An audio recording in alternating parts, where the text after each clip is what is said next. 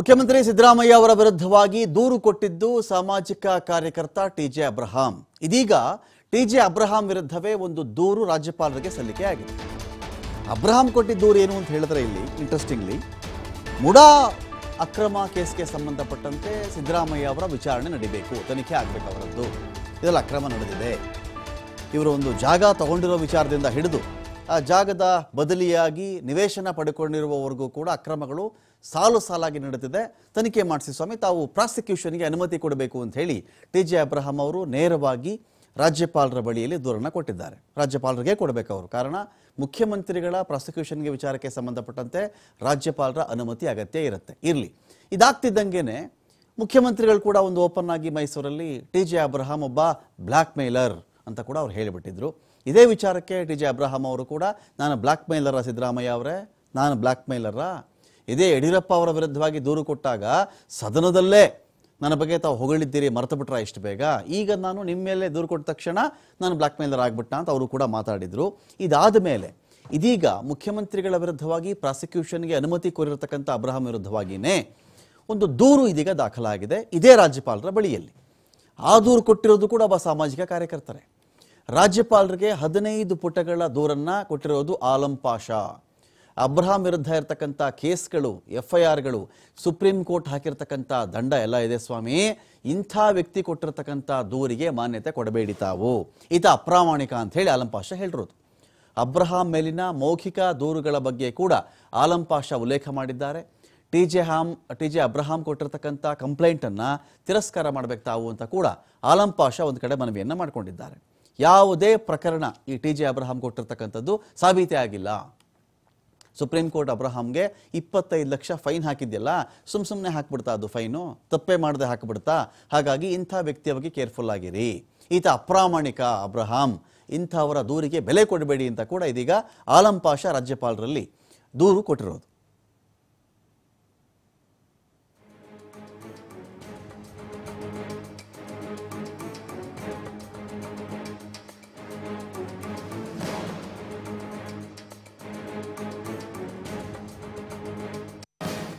Acquire ಮಾಡ್ಕೊಂಡಿರೋದು?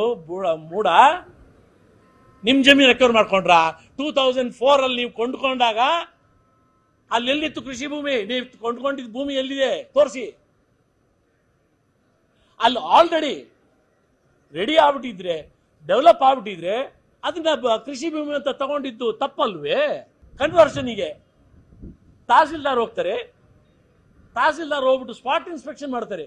Next D C ಹೋಗಿದ್ರಂತೆ. D C ಖುದ್ದಾಗಿ ಸ್ಪಾಟ್ ಇನ್ಸ್ಪೆಕ್ಷನ್ ಮಾಡಿದ್ರಂತೆ. ಏನಪ್ಪ ಕಾಣಿಸ್ತಲ್ಲಿ? ಸೈಟ್ಗಳು ಆಲ್ರೆಡಿ ಕೊಟ್ಬಿಟ್ಟಿದ್ದಾರೆ. ಫಲಾನುಭವಿಗಳಿಗೆ ಯಾರ್ಯಾರು ಕೇಳಿದ್ರು ಅಪ್ಲಿಕೇಶನ್ ಮೂಡನವ್ರು ಕೊಟ್ಬಿಟ್ಟಿದ್ದಾರೆ. ಅಲ್ಲಿ ನಿಮಗೆ ಎಲ್ಲಿ ಕಾಣಿಸ್ತು? ಈ ಅಗ್ರಿಕಲ್ಚರ್ ಲ್ಯಾಂಡ್ ನಿಮಗೆ ಕೃಷಿ ಭೂಮಿ ಎಲ್ಲಿ ಕಾಣಿಸ್ತು? ಡಿ ಸಿಗೆ ಇವತ್ತು ನಾನು ವಿಧಾನಸೌಧದ್ದು ಹಳೆ ಸರ್ವೆ ನಂಬರ್ ತಂದುಬಿಟ್ರೆ ನಾನು ತಗೋತಾ ಇದ್ದೀನಿ ನಾನು ಯಾರಿಗೋ ಮಾಡ್ತಾ ಇದ್ದೀನಿ ಅಂತ ಒಪ್ಪಿಗೆ ಒಪ್ಪಿಗೆನಾ? ಸಿ ಎಂ ಒಪ್ಕೋತಾರ? ಡಿ ಕೆ ಶಿವಕುಮಾರ್ ಒಪ್ಕೋತಾರಾ? ಪ್ರಿಯಾಂಕಾ ಯಾರು ಕೃಷ್ಣ ಬೈರೇಗೌಡರು ಒಪ್ಕೋತಾರ? ಪೊಣ್ಣನ ಒಪ್ಕೋತಾರ? ಕನ್ವರ್ಟ್ ಆಗ್ಬಿಟ್ಟಿದೆ ಅಲ್ಲಿ ಇದಿಲ್ಲಲ್ಲ ಅಲ್ಲಿ? ಕೃಷಿ ಭೂಮಿ ಇಲ್ಲಲ್ಲ? ಕೃಷಿ ಭೂಮಿನ ಮಾರಿದ್ರಂತೆ. ಸರಿ, ಎರಡು ಸಾವಿರದ ಇಪ್ಪತ್ತೈದು ಬಂದ್ವಪ್ಪ. ಏನ್ ಬಂದ್ವಿ? ಕನ್ವರ್ಷನ್ ಯಾವ ಜಮೀನ್ ಕನ್ವರ್ಟ್ ಮಾಡ್ತಾರೆ? ಇದಕ್ಕೆ ಪೂರ್ವಕವಾಗಿ ಈ ಜಮೀನು ಡಿನೋಟಿಫೈ ಆಗ್ತದಲ್ಲ. ಆವಾಗ ಏನಾಗಿದ್ರು ಮುಖ್ಯಮಂತ್ರಿಗಳು?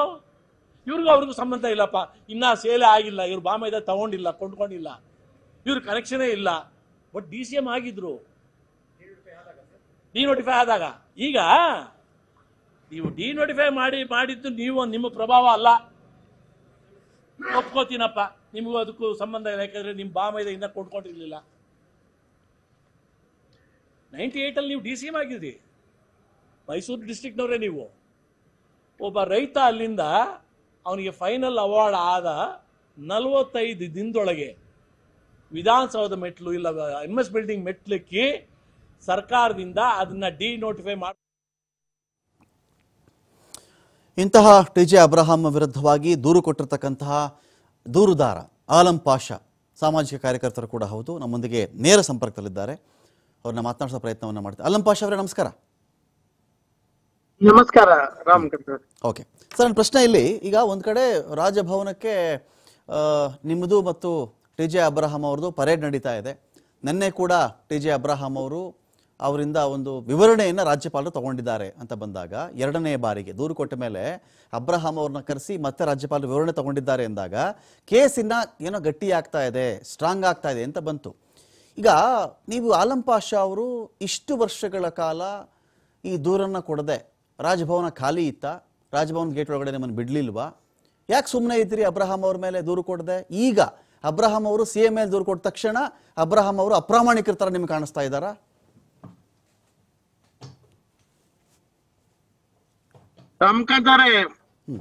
ವರ್ಷ ಇಲ್ಲ.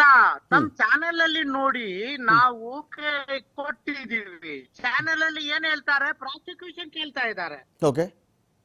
ಕೋರ್ಟ್ ಅಲ್ಲಿ ಕೇಸ್ ಮುಟ್ಟಿರುದ ಟಿ ಜೆ ಅಬ್ರಾಮ್ ಅವರು ಕೋರ್ಟ್ ಅಲ್ಲಿ ಹಾಕಿದಾರ ಆನರಬಲ್ ಜಡ್ಜ್ ಅವರು ಪ್ರಾಸಿಕ್ಯೂಷನ್ ಕೇಳಿದಾರ. ಪ್ರಾಸಿಕ್ಯೂಷನ್ ಸ್ಯಾಂಕ್ಷನ್ ಕೊಡಿ ಅಂತ. ಇವರು ಮಿಸ್ಗೈಡ್ ಮಾಡ್ತಾ ಇದ್ದಾರೆ ರಾಜ್ಭವನ್ ಅಲ್ಲಿ ಅಂತ ನಾವು ಒಂದು ಅಪ್ಲಿಕೇಶನ್ ಹಾಕಿದೀವಿ ಅವರು ಟಿ ಜೆ ಅಬ್ರಾಹಂ ಮೇಲೆ ಏನಂತೆ ಅವರು ಆಲ್ರೆಡಿ ಪೊಲೀಸ್ ಚೇಸ್ ಮಾಡ್ತಾ ಇದಾರೆ. ಮಾನ್ಯ ಸುಪ್ರೀಂ ಕೋರ್ಟ್ ಅವರು ಇಪ್ಪತ್ತೈದು ಲಕ್ಷ ಇವ್ರ ಮೇಲೆ ದಂಡ ಹಾಕಿದ್ದಾರೆ. ಅವ್ರ ದಂಡ ಕಾಸು ಕಟ್ಟಿದ್ದಾರೆ. ಆಮೇಲೆ ಮೊನ್ನೆ ಚಾರ್ಜ್ ಶೀಟ್ ಇವ್ರ ಹೆಸರಲ್ಲಿ ಆಗಿರುವುದು ಯಾವ್ದು? ಅದು ಅವ್ರ ಎಕ್ಸ್ಪೋಷನ್ ಕ್ರಿಮಿನಲ್ ಎಕ್ಸ್ಟೋರ್ಷನ್ ಮಾಡಿದ್ದಾರೆ ಹಣಕಾಸು ಕಾಸು. ಇದೆಲ್ಲ ರಾಜ್ಭವನ್ಗೂ ಗೊತ್ತೋ ಇಲ್ವೋ ಅಂತ ಹೇಳ್ತಾ ಇದ್ದೀವಿ. Okay. ಗೊತ್ತೋ ಇಲ್ವೋ ಅಂತ ನಾನು ಅರ್ಜಿ ಕೊಟ್ಟಿದ್ದೀವಿ. ನಾವು ನಮ್ಮ ಮಾನ್ಯ ಮುಖ್ಯಮಂತ್ರಿ ಆಗ್ಲಿ ಮಾನ್ಯ ಗವರ್ನರ್ ಹಿಸ್ ಎಕ್ಸಲೆನ್ಸಿ ಆಗ್ಲಿ ನನ್ಗೇನು ಸಂಬಂಧ ಇಲ್ಲ. ನಾವು ಈ ರೀತಿ ಒಬ್ಬರು ಈಗ ಎಫ್ ಐ ಆರ್ ಅಲ್ಲಿ ಇದ್ದಾರೆ. F I R Jeevan Bhima ನಗರಲ್ಲಿ. ಆಮೇಲೆ ಒಂದು ಡಾಕ್ಟರೇಟ್ ಪಿ ಎಚ್ ಡಿ ಒಂದು ಲೇಡಿ ಕಡೆ ಲೇಡಿ ಗಜೆಟೆಡ್ ಆಫೀಸರ್ ಕಡೆ ಒಂದು ಕೋಟಿ ದುಡ್ಡು ಅಲ್ಲಿ ಇಪ್ಪತ್ತು ಹತ್ತು ಲಕ್ಷ ತಕ್ಕೊಂಡು ಚಾರ್ಜ್ ಶೀಟ್ ಆಗಿರೋದು. ಇದೆಲ್ಲ ಮಾನ್ಯ ಗವರ್ನರ್ ಗೊತ್ತಿರೋದು ಇಲ್ವೋ? ಅದು ನಾವ್ ಹೇಳ್ಬೇಕಿಲ್ವಾ? ಅದು ನಾವ್ ಯಾಕೆ ಹೇಳ್ಬೇಕಂತೆ ಈಗ ಇವ್ರಿಗೂ ಈಗ ಇವರು police sub inspector police constable K ಚಿಕ್ತಾ ಇಲ್ಲ ಇವರು. ಈಗ ಬೇಲ್ ತಕ್ಕೊಂಡು ಅವರು ನಮ್ಗೆ ನೈನ್ಟೀನ್ ಬಿ ಪರ್ಮಿಷನ್ ಕೊಡ್ರಿ ಸೆವೆಂಟೀನ್ ಎ ಪರ್ಮಿಷನ್ ಕೊಡ್ರಿ ಅಂತ ಹೇಳ್ತೆ. ನೈನ್ಟೀನ್ ಬಿ ಕೊಡೋದಕ್ ಆಗೋದಿಲ್ಲ. ಮಾನ್ಯ ಹಿಸ್ ಎಕ್ಸಲೆನ್ಸಿ ನೈನ್ಟೀನ್ ಬಿ ಈ ಸ್ಟೇಜ್ ಅಲ್ಲಿ ಕೋರ್ಟ್ ವಾಸನ ನೋಡಿಲ್ಲ ಕೇಸು. ಸೆವೆಂಟೀನ್ ಎ ಮಾತ್ರ ಕೊಡ್ಬೋದು ಪರ್ಮಿಷನ್ ಸೆವೆಂಟೀನ್ ಎ ಪರ್ಮಿಷನ್ ಅಲ್ಲಿ ಅವ್ರ ಪೊಲೀಸ್ ಕಡೆ ಹೋಗಿ ಮಾಡೋದಕ್ಕೆ ಇವ್ರಿಗೆ ಏನ್ ಅರುಗತೆ ಉಂಟು? ಪೊಲೀಸ್ ಅಲ್ಲಿ ಇವ್ರ ಮೇಲೆ. ದೊಡ್ಡ ಕೇಸ್ ಹಾಕಿದ್ದಾರೆ. ಆ ಕೇಸ್ ಏನು. ಎಕ್ಸ್ಟೋರ್ಷನ್ ಕ್ರಿಮಿನಲ್ ಎಕ್ಸ್ಟೋರ್ಷನ್ ಕೇಸ್ ಹಾಕಿದ್ದಾರೆ? ಒಂದು ಕೋಟಿ ಒಂದು ಚಿಕ್ಕ ಕಂಪ್ಲೇಂಟ್ ಅಂತೆ. ಇದು ನಾವು ಮಾನ್ಯ ರಾಜ್ಯಪಾಲ್ಗೆ ಹೇಳ್ಬೇಕಾ ಇಲ್ವೋ? ಅಲಂ ಪಾಷಾ ಅವರೇ. ಇಲ್ಲಿ? ಅಲಂ ಪಾಷ ಅವರೇ ಒಂದು ನಿಮಿಷ ಒಂದು ನಿಮಿಷ. ಈಗ ನೀವು ಸಾಮಾಜಿಕ ಕಾರ್ಯಕರ್ತರು ನಾನು ಸಾಮಾಜಿಕ ಕಾರ್ಯಕರ್ತರ ಬಗ್ಗೆ ಸಮಾಜ ಸುಧಾರಣೆ ಆಗ್ತಕ್ಕಂಥ ಅನ್ಯಾಯವನ್ನು ಎತ್ತಿ ಹಿಡಿಯುವವರು ಅದ್ರ ಬಗ್ಗೆ ಹೋರಾಟ ಮಾಡೋರು ಅಂತ ನಾನು ಭಾವಿಸಿದ್ದೀನಿ. ಇದೆಲ್ಲ ಇತ್ತಲ್ಲ? ಈ ಒಂದು ಕೋಟಿ ಎಕ್ಸ್ಟ್ರಾಷನ್ ಮಾಡಿರೋರು ಈ ಥರ ಸಮಸ್ಯೆಗಳಿದೆ, ಅದು ಇದೆಲ್ಲ ಹೇಳ್ತಾ ಇದ್ದೀರಲ್ಲ, ಇದ್ರ ಬಗ್ಗೆ ಇದೇ ಆಲಂ ಅವರು ರಾಜ್ಯಪಾಲರಿಗೆ ಮೊದಲೇ ಕಂಪ್ಲೇಂಟ್ ಕೊಡಲಿಲ್ಲ. ಸಿದ್ದರಾಮಯ್ಯ ಅವರ ಮೇಲೆ ಟಿ ಜೆ ಅಬ್ರಾಹಂ ಅವರು ದೂರು ಕೊಟ್ಟ ತಕ್ಷಣ ಅಲರ್ಟ್ ಆಗಿದ್ಯಾಕೆ ಆಲಂ ಪಾಷಾ ಅವರು ಅಂತ? ರಮನ್ಕಾಂತ್ ಅವರೇ ನಾವು ಮುಂದೆ ಯಾಕೆ ಕೊಡ್ಬೇಕು? ಈ ತರ ಎಷ್ಟೋ ಜನ ಇರ್ಬೋದು ಎಷ್ಟೋ ಒಳ್ಳೆ ನೋಬಲ್ ಪ್ರೈಸ್ ತಕೊಂಡಿದ್ದಾರೆ ಕ್ರಿಮಿನಲ್ಸ್ ಇದ್ದಾರೆ ರೇಪಿಸ್ಟ್ ಇದ್ದಾರೆ ನಮ್ಗೆ ಯಾತಿಗೆ ಇದು? ಈಗ ನಮ್ ರಾಜ್ಪಾಲ್ ಅವರು ಹೊಸಬರು ಕರ್ನಾಟಕಕ್ಕೆ. ಇವ್ರಿಗೆ ಇದೆಲ್ಲ ಗೊತ್ತಿರುವುದ ಒಂದು ಲೇಡಿ ಆಫೀಸರ್ ಕಡೆ ಒಂದು ಕೋಟಿ ಕೇಳಿ ಅವ್ರ ರಿಟೈರ್ಡ್ ತಂದೆ ಕಡೆ ಎಷ್ಟು ಮಟ್ಟಿಗೆ ಹರಾಸ್ ಮಾಡ್ತಾ ಇದ್ದಾರೋ ಆ ವಿಡಿಯೋಗೆ ಇವರು ಡಿಲೀಟ್ ಮಾಡೋದೀಗ ಮಾನ್ಯ ಸಿವಿಲ್ ಕೋರ್ಟ್ ಅವರು order ಕೊಟ್ಟಿದ್ದಾರಾ? F I R Jeevan Bhima ನಗರದ್ದು quash ಮಾಡ್ಕೊಂಡಿದ್ದಾರಾ?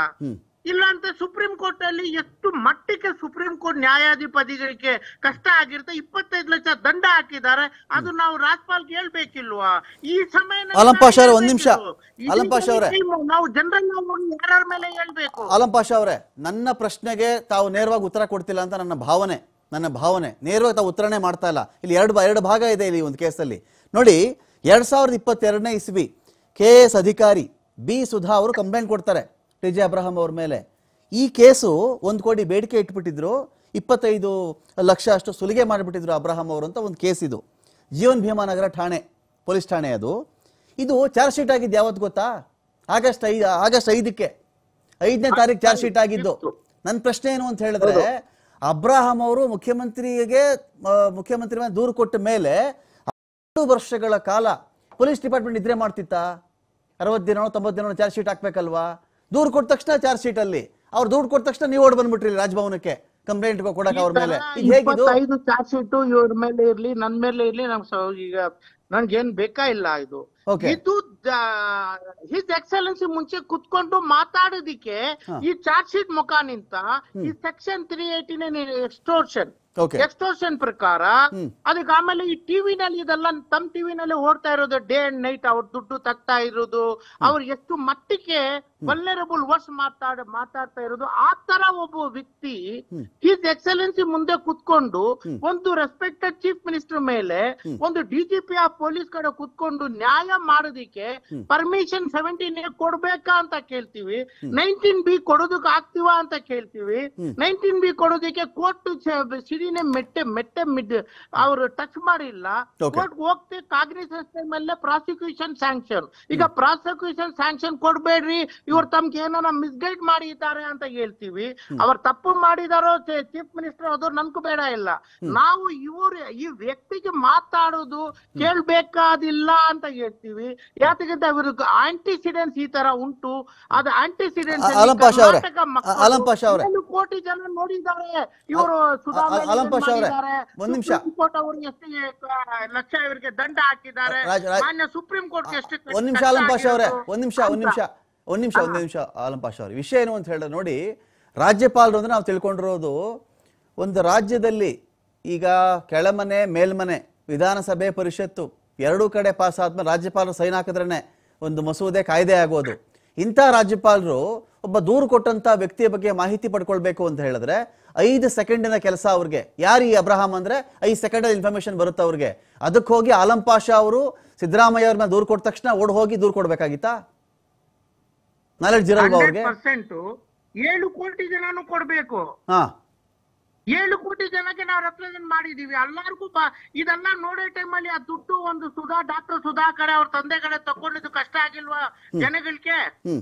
Rajpal ಇರೋದು ಜನಗಳಿಗೆ ಯಾರಕ್ಕೋಸ್ಕರ ಇಲ್ಲಿ ಅಲಂಪಾಶ ಪಾಷಾ ಅವರೇ ಮುಖ್ಯಮಂತ್ರಿಗಳು. ಯಾರಕ್ಕೋಸ್ಕರ ಜನಗಳಿಗೆ ಕಷ್ಟ ಇಲ್ವಾ? ಕೇಳಿಸ್ಕೊಳ್ಳಿ. ಇದು ಒಂದ್ ನಿಮಿಷ ಕೇಳಿಸ್ಕೊಳ್ಳಿ ಪಾಷಾ ಅವರೇ. ಪಾಷಾ ಅವರೇ ಈಗ ಕರ್ನಾಟಕ ರಾಜ್ಯದ ಮುಖ್ಯಮಂತ್ರಿಗಳು ಸಿದ್ದರಾಮಯ್ಯನವರು.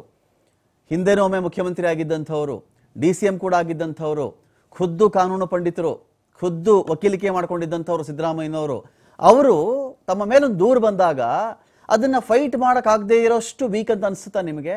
ಅವ್ರಿಗೆ ಗೊತ್ತಿರಲ್ವಾ ಕಾನೂನು? ಅವ್ರು ಫೈಟ್ ಮಾಡಲ್ವಾ? ಇದಕ್ಕೆ ಆಲಂ ಪಾಷಾ ಅವರ ಮಧ್ಯಸ್ಥಿಕೆ ಬೇಕಾಗಿತ್ತಾ ಇದಕ್ಕೆ? ಹೆಲ್ಪ್ ಬೇಕಾಗಿತ್ತು? ಟಿವಿ ಟಿವಿ ನೈನ್ ಅವರವ್ರ ಕೆಲಸ ಅವ್ರು ಮಾಡ್ತಾರೆ. ಆಲಂ ಪಾಷಾ ಕೆಲಸ ಇದು. ಆಲಂ ಪಾಷಾ ನ್ಯಾಯ ಧರ್ಮ ಅಧರ್ಮ ನೋಡಿ ಈ ಸೆಕ್ಷನ್ ಮೇಲೆ ಅಧರ್ಮ ಆಗ್ತಾ ಇರೋದು. ನೈನ್ಟೀನ್ ಬಿ ಕೊಡ್ಬೋದಾ? ನೈನ್ಟೀನ್ ಬಿ ನಲ್ಲಿ ಅವ್ರು ಕೇಳ್ಬೋದಾ? ಕೇಳ್ತಕ್ಕೇನೆ ಅವ್ರಿಗೆ ಅರೆಸ್ಟ್ ಮಾಡ್ಬಿಟ್ರ? ಯಾತಿಗಿರಿ ಕೇಳಿದಿರಿ ಅಂತ. ಟಿ ಜಿ ಅಬ್ರಹಂ ಜಾತಿಗೆ ಅರೆಸ್ಟ್ ವಾರೆಂಟ್ ಆಗಿಲ್ಲ. B N S S act corruption act ಅಲ್ಲಿ ಎಲ್ಲಿ ಉಂಟು? ಬಿ ಎನ್ ಎಸ್ ಎಸ್ ನೂರು ಇನ್ನೂರ ಹದಿನೆಂಟು ಎಲ್ಲಿ ಉಂಟು? ಇನ್ನೊಂದು ಪಾಷಾ ಅವರೇ ಇನ್ನೊಂದು. ಇಲ್ಲಿ ಇಲ್ಲೇನ್ ಬರುತ್ತೆ ಅಂದ್ರೆ ಇದೇನಾಗುತ್ತೆ? ಈಗ ಒಂದ್ ಕಡೆ ಮುಖ್ಯಮಂತ್ರಿಗಳು ಮಾತಾಡಿದ್ರು ಇವರೊಬ್ಬ ಬ್ಲಾಕ್ ಮೇಲರ್ ಅಂತ ಹೇಳಿ. ನಾನು ಪ್ರೂವ್ ಮಾಡ್ಲಿ ಬ್ಲಾಕ್ ಮೇಲರ್ ಅಂತ ಹೇಳಿ ಆಲಂ ಈಗ ಅಬ್ರಾಹಂ ಅವರು ಸವಾಲು ಕೂಡ ಹಾಕಿದ್ರು. ಇದೊಂದು ಭಾಗ. ಎರಡನೇ ಭಾಗ ಹೇಳ್ತೀನಿ ಕೇಳಿ. ಈಗ ಇವ್ರು ಇಲ್ಲೇನು ಅಬ್ರಹಾಂ ಅವರು ಹೇಳ್ತಿರೋದು? ಮುಡಾ ನಿವೇಶನ ವಿಚಾರದಲ್ಲಿ ಅಕ್ರಮ ನಡೆದಿದೆ ಮುಖ್ಯಮಂತ್ರಿಗಳು ವಿಚಾರಣೆ ಆಗಬೇಕು ಅಂತ ವಿಚಾರಣೆ ಆಗಬೇಕು ಅಂತ ಕಂಪ್ಲೇಂಟ್ ಕೊಟ್ಟಿರೋದು. ವಿಚಾರಣೆ ನಡೀಲಿ ತನಿಖೆ ನಡೀಲಿ ಅದು ತಪ್ಪೋ ಸರಿಯೋ ಕೋರ್ಟ್ ತೀರ್ಮಾನ ಮಾಡಿಕೊಳ್ಳುತ್ತೆ. ಇಲ್ಲಿ ದೂರೇ ತಪ್ಪು ಅಂದ್ರೆ ಹೇಗೆ? ಕಂಪ್ಲೇಂಟ್ ಕೊಡ್ತಿರೋದೇ ತಪ್ಪು ಅನ್ನೋದು ಒಂದು ಭಾಗ ಆದ್ರೆ ಈ ಮನುಷ್ಯ ಸರಿ ಇಲ್ಲ. ಸಪೋಸ್ ನಿಮ್ಮ ಎದುರುಗಡೆ ನಾನು ನಿಮಗೆ ಕೇಳ್ಬಿಡ್ತೀನಿ. ಒಂದ್ ನಿಮಿಷ ಒಂದ್ ನಿಮಿಷ ಒಂದ್ ನಿಮಿಷ. ಆಲಂ ಪಾಷ ಅವ್ರೆ. ಒಂದ್ ನಿಮಿಷ ಒಂದ್ ನಿಮಿಷ ಆಲಂ ಪಾಷ ಅವ್ರೆ. ಅಲ್ಲ ಆಲಂ ಪಾಷ ಅವ್ರೆ. ಒಂದು ನಿಮಿಷ ಒಂದೇ ಒಂದೇ ನಿಮಿಷ. ನೀವು ಕೇಳಿಸ್ಕೊಳ್ಳಲ್ಲ ಆಲಂ ಪಾಷ ಅವ್ರೆ. ಒಂದೇ ಒಂದು ನಿಮಿಷ ಕೇಳಿಸ್ಕೊಂಬಿಡಿ. ಆಮೇಲೆ ಹೌದು. ಕೇಳ್ತಾ ಇರೋದು ಬಟ್ ಅವರ್ ಅಬ್ರಾಮ್ಗೆ ಕೇಳಬೇಕಿಲ್ಲ ಕೇಳಿಸ್ಕೊಳ್ಳಿ ಒಂದ್ ನಿಮಿಷ ನೀವು. ಅಲಂ ಪಾಷಾ ಅವರೇ. ಅಲ್ಲ ಒಂದ್ ನಿಮಿಷ ಕೇಳಿಸ್ಕೊಂಬಿಡಿ ಒಂದೇ ಒಂದ್ ನಿಮಿಷ ಕೇಳಿಸ್ಕೊಂಬಿಡಿ. ವಿಷಯ ಏನು ಅಂತ ಹೇಳಿದ್ರೆ ಈಗ ಎಕ್ಸ್ ವೈ ಝೆಡ್ ಅಂತ ಒಬ್ಬ ಮನುಷ್ಯ ಇರ್ತಾನೆ ಅಲಂ ಪಾಷ ಅವರೇ. ಅವ್ರ ಮೇಲೆ ಯಾವ್ದೋ ಒಂದಷ್ಟು ಕೇಸ್ ಇರುತ್ತೆ. ಯಾವ್ದೋ ಒಂದಷ್ಟು ಕೇಸ್ ಇರುತ್ತೆ ಅವ್ರ ಮೇಲೆ. ಕೇಸ್ ಇತ್ತು ಅಂದ್ ಮಾತ್ರಕ್ಕೆ ಆ ಮನುಷ್ಯ ಕಣ್ಣಾರೆ ಏನೋ ಅಂತ ಕಾಣ್ತಾನೆ. ಬಹುಶಃ ಸಂಪರ್ಕ ಸಾಧ್ಯವಾಗ್ತಿಲ್ಲ ಅಂತ ಕಾಣುತ್ತೆ. ಸಂಪರ್ಕ ಇಲ್ಲೇನಾಗ್ತಿದೆ ಅಂತ ಹೇಳಿದ್ರೆ ಸಿ ಮುಖ್ಯಮಂತ್ರಿಗಳ ಮೇಲೆ ಒಂದು ದೂರು ಬಂದಿದೆ. ಅದು ರಾಜ್ಯಪಾಲರಿಗೆ ದೂರು ಹೋಗಿದೆ. ರಾಜ್ಯಪಾಲರಿಗೆ ದೂರು ಹೋದಾಗ ಮುಖ್ಯಮಂತ್ರಿಗಳು ಶಕ್ತರಿರ್ತಾರೆ. ಇಂಥ ಕೇಸನ್ನು ಫೇಸ್ ಮಾಡೋಕ್ಕೆ. ಕೆಲವರೆಲ್ಲ ಕಂಪೇರ್ ಮಾಡ್ತಾರೆ. ಏನ್ರಿ ಇವತ್ತು ಯಡಿಯೂರಪ್ಪ ಅವ್ರ ಮೇಲೆ ಕಂಪ್ಲೇಂಟ್ ಕೊಟ್ಟಿದ್ದಾಗ ಇದೇ ಥರ ಮಾತಾಡ್ತಾ ಇದ್ರಾ? ಸಿದ್ದರಾಮಯ್ಯನವರು ಅಂತ ಬಂದಾಗ ಒಂಥರ ಮಾತಾಡ್ತೀರಾ ಅಂತ ಸಾಮಾಜಿಕ ಮಾಧ್ಯಮಗಳಲ್ಲಿ ಕೆಲವರು ಅಬ್ರಹಾಂ ಪರ, ಕೆಲವರು ಅಬ್ರಹಾಂ ಅವರ ವಿರುದ್ಧವಾಗಿ, ಸಿದ್ದರಾಮಯ್ಯ ಅವರ ಪರ, ಸಿದ್ದರಾಮಯ್ಯ ವಿರುದ್ಧವಾಗಿ ಮತ್ತು ಜನಗಳು ಕೇಳಿದಾಗೂ ಇಂಥ ಒಂದು ಉತ್ತರ ಬರುತ್ತೆ. ಇದರಲ್ಲಿ ಎರಡು ಕೇಸ್ ಬರ್ತವೆ ಈ ಒಂದು ವಿಚಾರ. ಯಡಿಯೂರಪ್ಪನವರ ಕೇಸಲ್ಲಿ ಲಂಚವನ್ನು ಚೆಕ್ಕಲ್ಲಿ ತೊಗೊಂಡ್ಬಿಟ್ಟಿದ್ರು ಯಡಿಯೂರಪ್ಪನವರು. ಅದು ಕಿಕ್ ಬ್ಯಾಕ್ ಆಗಿತ್ತು ಅಂತ ಇದ್ದಂಥ ಆರೋಪ.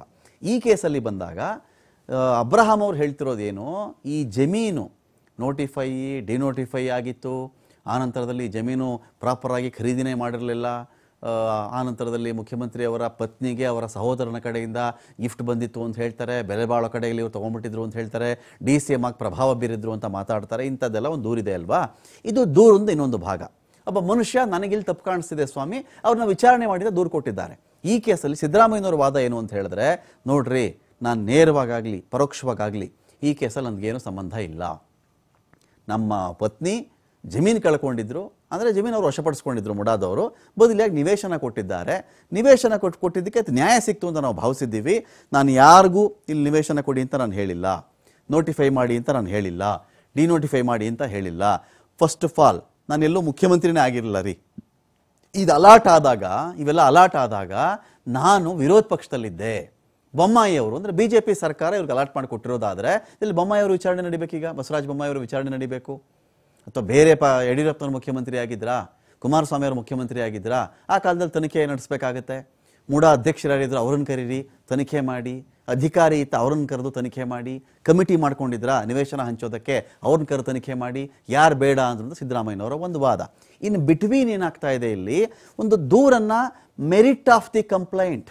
ಆ ಒಂದು ಕಂಪ್ಲೇಂಟ್ನ ಮೆರಿಟ್ ಇರುತ್ತಲ್ಲ, ಅದರ ಮೇಲೆ ಪರಿಗಣಿಸುವ ಬದಲಾಗಿ, ಸಾರಾಸಗಟಾಗಿ ದೂರುದಾರನ ಚಾರಿತ್ರ ವಧೆ ಮಾಡ್ತಕ್ಕಂಥದ್ದು ದೂರುದಾರ ಸರಿ ಇಲ್ಲ ಅನ್ನೋದು, ಅವನ ಅಪ್ರಾಮಾಣಿಕ ಅನ್ನೋದು ಏನೋ ಒಂದು ವಿಷಯ ಇದ್ದಾಗ ನೋಡಿ, ರಾಜ್ಯಪಾಲರ ಬಳಿಯಲ್ಲಿ ಒಂದು ದೂರು ಬ್ಲ್ಯಾಕ್ ಆ್ಯಂಡ್ ವೈಟಲ್ಲಿ ಈ ಥರ ಸಲ್ಲಿಕೆ ಆಗುತ್ತೆ ಹೀಗೆ. ಈಗ ಸಲ್ಲಿಕೆ ಆಗುತ್ತೆ ಇದು? ರಾಜ್ಯಪಾಲರಾದವರು, ಈ ದೂರು ಯಾರು ಕೊಟ್ಟ, ಯಾಕೆ ಕೊಟ್ಟ, ಇವಂದೇನು ಕಥೆ? ಇದನ್ನೂ ಚೆಕ್ ಮಾಡ್ಕೊಂಡಿರ್ತಾರೆ, ಒಂದು ಭಾಗ ಅದು. ಎರಡನೇದು, ಈ ಕಂಪ್ಲೇಂಟ್ನ ಮೆರಿಟ್ ನೋಡ್ತಾರೆ ರೀ ನೀವೊಂದು ಆರ್ಥಿಕ ಅಪರಾಧಗಳ ವಿಚಾರದಲ್ಲಿ, ಹಗರಣಗಳ ವಿಚಾರದಲ್ಲಿ, ಲೋಕಾಯುಕ್ತಕ್ಕೋ ಐ ಟಿಗೋ ಇ ಡಿಗೋ ಸಿ ಬಿ ಐಗೋ ಒಂದು ನೀವು ದೂರನ್ನು ಕೊಟ್ಬಿಟ್ಟು, ಆಮೇಲೆ ಎಷ್ಟೋ ಬಾರಿ ನಿಮ್ಗೆ ಆ ದೂರು ವಾಪಸ್ ಪಡ್ಕೊಳ್ಳೋಕ್ಕೂ ನಿಮ್ಗೆ ಅವಕಾಶ ಇರಲ್ಲ, ಇದು ಗೊತ್ತಿರಲಿ. ಯಾಕೆ ಅಂತ ಹೇಳಿದ್ರೆ, ಆ ದೂರು ಕೊಟ್ಟ ವ್ಯಕ್ತಿಯ ಚಾರಿತ್ರದ ಆಧಾರದ ಮೇರೆಗೆ ಆ ದೂರಿನ ವ್ಯಾಲ್ಯೂ ಅಥವಾ ಮೌಲ್ಯ ಪರಿಗಣನೆ ಆಗಲ್ಲ. ಆ ವ್ಯಕ್ತಿ ಹೇಳಿರ್ತಕ್ಕಂಥ ವಿಷಯದಲ್ಲಿ ಸತ್ಯ ಇದೆಯಾ ಸುಳ್ಳಿದೆಯಾ ಇದು ನಂಬಬಹುದಾ? ಇದಕ್ಕೆ ಡಾಕ್ಯುಮೆಂಟಲ್ ಎವಿಡೆನ್ಸ್ಗಳು ಏನಿದೆ? ಓ, ನಿವೇಶನ. ಓ, ಯಾವಾಗಪ್ಪ ಮಂಜೂರಾಯಿತು? ಓ ನೋಟಿಫೈ ಆಗಿದ್ದು ಯಾವಾಗ ಡಿನೋಟಿಫೈ ಆಗಿದ್ದು ಯಾವಾಗ ಈ ಭೂಮಿ ಯಾರಿಗೆ ಸೇರಿದ್ದು? ಯಾವಾಗ ಕೊಂಡ್ಕೊಂಡ್ರು? ಇದು ಮೂಡ ವಶಪಡಿಸ್ಕೊಳ್ಳುತ್ತೆ ಅಂತ ಗೊತ್ತಾದ್ಮೇಲೆ ಬಂದು ಕೊಂಡ್ಕೊಂಬಿಟ್ರ ಇದನ್ನ? ಆಮೇಲೆ ಅದನ್ನ ಇನ್ನೊಬ್ರಿಗೆ ವರ್ಗಾಯಿಸಿದ್ರ? ಈ ಜಮೀನನ್ನ ಅಕ್ರಮವಾಗಿ ವಶಪಡಿಸ್ಕೊಂಡು ಅದಕ್ಕೆ ಅಕ್ರಮ ಕಾಗದ ಪತ್ರಗಳನ್ನು ಮಾಡಿಕೊಂಡು ಅದನ್ನು ಮಾಡಿದ್ರ? ಅದನ್ನು ಮಾಡಿದಾಗ ಖುದ್ದು ಸಿದ್ದರಾಮಯ್ಯ ಅವರ ಹೆಸರಿಗೆ ರಿಜಿಸ್ಟರ್ ಆಯ್ತಾ ಇದು? ಅವರ ಪತ್ನಿ ಹೆಸರಿಗೆ ರಿಜಿಸ್ಟರ್ ಆಯ್ತಾ? ದಾನಪತ್ರ ಅಂತ ಬಂತ? ಸಿದ್ದರಾಮಯ್ಯನವರು ಎಲ್ಲಿಯಾದರೂ ಫೋನ್ ಮೂಲಕನೋ ಲೆಟ್ರ್ ಮೂಲಕನೋ ಪ್ರಭಾವ ಬೀರಿಯೋ ಕಮಿಟಿಯಲ್ಲಿ ಇದ್ದೋ ಪ್ರತ್ಯಕ್ಷ ಪರೋಕ್ಷವಾಗಿ ಇದ್ಕೊಂಡು ಪ್ರಭಾವ ಬೀರಿದ್ದಾರಾ ಈ ನಿವೇಶನ ಪಡ್ಕೊಳ್ಳೋಕ್ಕೆ ಎನ್ನುವುದರ ಆಧಾರದ ಮೇರೆಗೆ ಈ ದೂರಿನ ಮೌಲ್ಯ ಡಿಸೈಡ್ ಆಗುತ್ತೆ. ಆಲಂ ಪಾಷ ಯಾರು? ಅಬ್ರಾಹಂ ಯಾರು? ಇವ್ರ ಹಿಂದೆ ಏನು ಕೇಸ್ ಇದೆ? ನೋಡಿ, ಇಲ್ಲೇನಾಗ್ತಿದೆ ಅಂತ ಹೇಳಿದ್ರೆ ಇಂಥ ಕೇಸ್ಗಳು ಬಂದಾಗಲೇ ಅನುಮಾನ ಜಾಸ್ತಿ ಆಗೋದು. ಎರಡು ಸಾವಿರದ ಇಪ್ಪತ್ತೆರಡರ ಕೇಸು. ಈಗ ನಾವೇ ದರ್ಶನ್ ಅವ್ರ ಕೇಸಲ್ಲಿ ಏನು ಮಾತಾಡ್ತೀವಿ ಹೇಳಿ? ತೊಂಬತ್ತಿನಲ್ಲಿ ಒಂದು ಚಾರ್ಜ್ ಶೀಟ್ ಆಗುತ್ತಪ್ಪ ಈ ಕೇಸಲ್ಲಿ ಅಂತ ಮಾತಾಡ್ತೀವಿ ಚಾರ್ಜ್ ಶೀಟ್ನ ಎರಡು ಸಾವಿರದ ಇಪ್ಪತ್ತೆರಡನೇ ಇಸ್ವಿಯಿಂದ ಇಲ್ಲಿವರೆಗೂ ಯಾಕೆ ಮಾಡಲಿಲ್ಲ ಮಾಡಬೇಕಿತ್ತಲ್ಲ ಅಬ್ರಹಾಂ ಅವ್ರ ಮೇಲೆ? ಆಗಿರೋದು ಆಗಸ್ಟ್ ಐದಕ್ಕೆ. ಸೊ ಒಂದು ಕಡೆ ದೂರ ಹೋದಾಗ ದೂರಿನ ಮೆರಿಟ್ ಮೇಲೆ ಫೈಟ್ ಮಾಡಿ, ಅದರ ಲಿಗಾಲಿಟಿ ಬಗ್ಗೆ ಫೈಟ್ ಮಾಡ್ಕೊಳ್ಳಿ. ಅದು ಸರಿಯೇ ತಪ್ಪೇ ಚೆಕ್ ಮಾಡ್ಕೊಳ್ಳಿ. ಕೊಟ್ರ ರಾಜ್ಯಪಾಲರ ದೂರು. ನಾವು ಕಾನೂನಾತ್ಮಕ ಹೋರಾಟ ಮಾಡ್ತೀವಿ, ಬಿಡ್ರಿ ಅಂತ ಹೇಳಬೇಕು. ಅದು ಒಂದು ಭಾಗ ಬರುತ್ತೆ. ದೂರು ಕೊಟ್ಟವ್ರು ಸರಿ ಇಲ್ಲ ಅದು ಸರಿ ಇಲ್ಲ ಅಂದರೆ ದೂರು ಕೊಟ್ಟವ್ರು ಸರಿ ಇದ್ರ, ಸರಿ ಇಲ್ಲ ಎನ್ನುವ ಕ್ಯಾರೆಕ್ಟರ್ ಸರ್ಟಿಫಿಕೇಟ್ ಆಧಾರದ ಮೇರೆಗೆ ದೂರು ಡಿಸೈಡ್ ಆಗಲ್ಲ. ದೂರು ಡಾಕ್ಯುಮೆಂಟ್ಸ್ ಮೇಲೆ ಡಿಸೈಡ್ ಆಗುತ್ತೆ. ಘಟನಾವಳಿಗಳ ಮೇಲೆ ಡಿಸೈಡ್ ಆಗುತ್ತೆ, ಸಾಕ್ಷ್ಯಗಳ ಮೇಲೆ ಡಿಸೈಡ್ ಆಗುತ್ತೆ. ಈ ಒಂದು ವಿಚಾರದಲ್ಲಿ ಸಾಕಷ್ಟು ಗೊಂದಲಕ್ಕೆ ಒಳಗಾದಂತೆ ಕಾಣಿಸ್ಕೊಳ್ತಾ ಇದೆ ಇಲ್ಲಿ ಇಡೀ ಒಂದು ವಿಚಾರ ನೋಡಿದಾಗ. ಅಬ್ರಹಾಂ ಸರಿನಾ, ಸರಿ ಇಲ್ವಾ ಅನ್ನೋ ವಿಚಾರಕ್ಕೆ ಸಂಬಂಧಪಟ್ಟಂತೆ ಯು ಕ್ಯಾನ್ ಫೈಟ್ ಫೈಟ್ ಹಿಂದಿನ ಕೇಸ್ ಏನಾಗಿತ್ತು? ಯಾವುದೋ ಒಂದು ಕೋಟಿ ಸುಲಿಗೆ ಮಾಡಿದ್ರು ಇವರು? ಯಾವುದೋ ಆಫರ್ಗೆ ಕೇಳಿದ್ರು ಇವರು? ಅಂದರೆ ಇವರು ಯಾರಾದರೂ ಡಿಮ್ಯಾಂಡ್ ಇಟ್ಟಿದ್ರು? ಇಪ್ಪತ್ತೈದು ಲಕ್ಷ ಸುಲಿಗೆ ಮಾಡಿದ್ರು ಕಂಪ್ಲೇಂಟ್ ಎಲ್ಲ ಇದೆಯಲ್ಲ? ಫೈಟ್ ಮಾಡಲಿ, ಅದು ಬೇರೆ. ಬಟ್ ಈ ದುರ್ಗದಲ್ಲಿ ಲಿಂಕ್ ಮಾಡ್ಕೊಳ್ಳೋದು ಸರಿ ಹೋಗಲ್ಲ. ಅದು ಬೇರೆ, ಇದು ಬೇರೆ. ವ್ಯಕ್ತಿ ಅಂತ ನೋಡಲ್ಲ ಅಲ್ಲಿ. ಅಕಸ್ಮಾತ್ ರಾಜ್ಯಪಾಲರಿಗೇನೆ. ಯಾರು? ಈ ಟಿ ಜೆ ಅಬ್ರಹಾಂ ಅನ್ನೋ ವ್ಯಕ್ತಿ ಯಾರು ಅಂತ ಹೇಳಿದ್ರೆ, ಐದು ಸೆಕೆಂಡಲ್ಲಿ ರಾಜ್ಯಪಾಲರ ಮುಂದೆ ಬಂದು ಕಂತೆ ಕಂತೆ ಡಾಕ್ಯುಮೆಂಟ್ಗಳು ಬೀಳ್ತವೆ. ಒಬ್ಬ ವ್ಯಕ್ತಿಯ ಬಗ್ಗೆ. ಎಕ್ಸ್ ವೈ ಝಡ್ ಇಡೀ ರಾಜ್ಯದ ಯಾವುದೇ ಮೂಲೆಯ ಯಾವುದೇ ವ್ಯಕ್ತಿ ಬಗ್ಗೆ ಮಾಹಿತಿ ಕೇಳಿದ್ರು ಕೂಡ ಐದು ನಿಮಿಷದಲ್ಲೋ, ಐದು ಗಂಟೆಯಲ್ಲೋ ಮಾಹಿತಿ ಇರುತ್ತೆ ಅವ್ರ ಬಳಿಯಲ್ಲಿ. ಇಲ್ಲೇನಾಗ್ತದೆ ಅಯೋಮಯ ಮಾಡಿಕೊಂಡು ಗೋಜಲು ಗೋಜಲು ಮಾಡ್ಕೊಂಡಂತೆ ಕಾಣಿಸ್ತಾ ಇದೆ. ವೆಯ್ಟ್ ಮಾಡಬೇಕಾಗುತ್ತೆ, ಈ ಕೇಸಲ್ಲಿ ಏನಾಗುತ್ತೆ ಅಂತ ಹೇಳಿ ಮುಖ್ಯಮಂತ್ರಿಗಳು ಖುದ್ದು ಕಾನೂನು ತಜ್ಞರಿದ್ದಾರೆ. ಖುದ್ದು ವಕೀಲಿಕೆ ಮಾಡಿಕೊಂಡು ಬಂದಂಥ ಅನುಭವ ಅವರಿಗಿದೆ. ಜೊತೆಗೆ ಎಲ್ಲಿಯೂ ಸಿದ್ದರಾಮಯ್ಯ ಅವರ ಹೆಸರಲ್ಲಿ ಒಂದೇ ಒಂದು ನಿವೇಶನ ಕೂಡ ಇವತ್ತಿಗೆ ಇಲ್ಲ. ಒಂದು ವೇಳೆ ಪ್ರಾಸಿಕ್ಯೂಷನ್ ಮಾಡೋದಾದರೆ, ತನಿಖೆ ಮಾಡೋದಾದರೆ ನೇರವಾಗಿ ಅವರ ಪತ್ನಿ ತನಿಖೆ ಮಾಡಬೇಕಾಗತ್ತೆ. ಇನ್ನೂ ಮುಂದುವರೆದ್ರೆ ಪತ್ನಿಗೆ ಯಾವ ಸಹೋದರನ ಕಡೆಯಿಂದ ಈ ಒಂದು ಜಮೀನು ಬಂತೋ ಅವ್ರು ತನಿಖೆ ಮಾಡಬೇಕಾಗತ್ತೆ. ಆ ಜಮೀನೇ ಅಕ್ರಮ ಅಂತ ಆದಾಗ ಅಕ್ರಮವಾಗಿ ಯಾರು ಪೇಪರ್ ಮಾಡಿಸಿದ್ರು ಅವ್ರು ತನಿಖೆ ಮಾಡಬೇಕಾಗತ್ತೆ. ಇನ್ನೂ ಮುಂದುವರೆದ್ರೆ ಈ ನಿವೇಶನವನ್ನು ಯಾರು ಮಂಜೂರು ಮಾಡಿಕೊಟ್ಟಿತ್ತಲ್ಲ ಕಮಿಟಿ ಅವ್ರನ್ನ ತನಿಖೆ ಮಾಡಬೇಕು. ಮುಡಾ ಅಧ್ಯಕ್ಷರ ತನಿಖೆ ಆಗಬೇಕಾಗತ್ತೆ. ಯಾರು ಮುಖ್ಯಮಂತ್ರಿ ಆಗಿದ್ದ ಅವಧಿಯಲ್ಲಿ ಈ ಮುಡಾದಲ್ಲಿ ಇಂಥ ಹಗರಣ ಮಾಡಿದ್ರೋ ಆ ಮುಖ್ಯಮಂತ್ರಿ, ಅವತ್ತಿನ ಮುಖ್ಯಮಂತ್ರಿ ಕೂಡ ಆನ್ಸರಬಲ್ ಆಗಬೇಕಾಗತ್ತೆ. ಆ ದಿಕ್ಕಿನಲ್ಲಿ ತನಿಖೆ ನಡಿಬೇಕಾಗತ್ತೆ. ಏನ್ ಬೇಕಾದ್ರೆ ಮಾಡಕ್ಕೆ ಹೊರಡ್ಲಿ. ಸಂತೋಷ. ಈಗ ಯಾವ್ದೈತೆ? ಒಂದಿದ್ದು ಕ್ಲೋಸ್ ಆಯಿತು, ಇನ್ನೊಂದು ಐತೆ ನಡೀತೈತೆ ಹೊಸದು ಯಾವ್ದು ಇಲ್ಲಲ್ಲ. ಹೊಸದ್ ಸೃಷ್ಟಿ ಮಾಡಬೇಕು. ಹೋದ್ಸಲಿ ನಾನು ತಪ್ಪು ಮಾಡಿಬಿಟ್ಟೆ ನೈಸ್ ಕೇಸ್ ಹಾಕಿದಾಗ ನಾನು ತಪ್ಪು ಮಾಡಿದೆ. ಕ್ಲೋಸ್ ಆಗಿದ್ದನ್ನು ಓಪನ್ ಮಾಡಿಸೋದು. ನಮಗೆ ಗೊತ್ತಿಲ್ದಿರಾ? ಈ ಸರಿ ಸರ್ಕಾರಕ್ಕೆ ನೇರ ಸವಾಲ್. ನೇರ ಸವಾಲ್. ಹುಡುಕ್ರಿ. ಹುಡ್ಕಕ್ ಆಗಿದ್ರೆ ಕೇಳ್ರಿ. ಹೆಂಗ್ ಹುಡುಕ್ಬೇಕು ಅಂತ ನಾನು ಹೇಳ್ಕೊಡ್ತೀನಿ ಸರ್ಕಾರಕ್ಕೆ. ಸರ್ಕಾರ ಏನ್ ಬೇಕಾದ್ರೆ ಮಾಡಕ್ ಒಂದೇ ನೋಟಿಸ್ ಬಂದಿರೋದು ಅದು ಉತ್ತರ ಕೊಟ್ಟಾರೆ ಹೊಸ ಚೀಫ್ ಸೆಕ್ರೆಟರಿ ಆದ್ಮೇಲೆ ಅವರು ಡೆಲ್ಲಿಗೆ ಹೊಂಟೋಗಿದ್ರು. ಗವರ್ನರ್. ಅವ್ರು ಊರ್ ನಿಲ್ಲಿಲ್ಲ. ಅವ್ರು ಬಂದ್ಮೇಲೆ ಭೇಟಿ ಮಾಡಿದ್ರು ನಮ್ಮೆಲ್ಲ ನಮ್ಮ ಕ್ಯಾಬಿನೆಟ್ ರಿಪ್ಲೈನಲ್ಲಿ ನನ್ನ ರಿಪ್ಲೈನಲ್ಲಿ ಎಲ್ಲ ಹೇಳಿದೀವಿ ಲೀಗಲ್ ಆಗಿರುವಾಗ ಕನ್ವಿನ್ಸ್ ಆಗ್ಲೇಬೇಕಲ್ರಿ. ಎಲ್ಲ ಲೀಗಲ್ ಆಗಿರುವಾಗ ಕನ್ವಿನ್ಸ್ ಆಗ್ಬೇಕಲ್ಲಪ್ಪ? ಆಶಾಭಾವನೆ ಇಲ್ಲ. ಲೀಗಲ್ ಆಗಿ ಒಪ್ಕೋತಾರೆ ಅಂತ ನನಗೆ ನಂಬಿಕೆ ಇದೆ. ಆಶಾ ಭಾವನೆ ಅಲ್ಲ. ಕಾನೂನು ಪ್ರಕಾರ, ಕಾನೂನನ್ನ ಒಪ್ಕೊಳ್ because is the head of the constitution ಅಲ್ವಾ? ಕಾನ್ಸ್ಟಿಟ್ಯೂ ಕಾನ್ಸ್ಟಿಟ್ಯೂಷನ್ ಪ್ರಕಾರ ಇದೆಯಲ್ಲ? ಯಾಕೆ ಒಪ್ಕೊಳ್ಳಲ್ಲ ಒಪ್ಕೊಳ್ತಾರೆ ಅಂತಕ್ಕಂಥ ನಂಬಿಕೆ ಅವ್ರ ಸರ್ಕಾರ ಭ್ರಷ್ಟ ಸರ್ಕಾರ. ಅವ್ರದ್ದು ಭ್ರಷ್ಟ. ಅದೇ ಹೊತ್ತು ನಾನು ನಾನು ಎಲ್ಲ ಹೇಳ್ತೀನಿ ಅವ್ರು. ಅವ್ರ ಕಾಲದಲ್ಲಿ ಏನೇನು ಹಗರಣಗಳಾಗಿದ್ದೋ ಯಾವ್ಯಾವ ಸ್ಟೇಜ್ನಲ್ಲಿ ಇದ್ದಾವೆ ಹಗರಣಗಳು? ಯಾಕೆ ಇನ್ನೂ ರಾಜೀನಾಮೆ ಕೊಟ್ಟಿಲ್ಲ? ಜಂತಿಕಲ್ ಪ್ರಕರಣ ಇರ್ಬೋದು ಇದು ಶೆಲ್ ಯಡಿಯೂರಪ್ಪ ಯಡಿಯೂರಪ್ಪ ಮಗ ಮಾಡಿರ್ತಕ್ಕಂಥದ್ದು ಇರ್ಬೋದು ದೇವರಾಜ ಅರಸು ಟರ್ಮಿನಲ್ ಇರ್ಬೋದು ಆ, ಅಭಿವೃದ್ಧಿ ನಿಗಮ ಇರ್ಬೋದು. ಎಲ್ಲನೂ ಎಲ್ಲ ಹೇಳ್ತೀವಿ ಎಲ್ಲ ಬಿಚ್ತೀವಿ ಎಲ್ಲ ಅವ್ರನ್ನೆಲ್ಲ ಸುಳ್ಳುಗಳನ್ನೆಲ್ಲ ಸುಳ್ಳು ಎದುರಿಸ್ತಕ್ಕಂಥ ಧೈರ್ಯ ಇದೆ.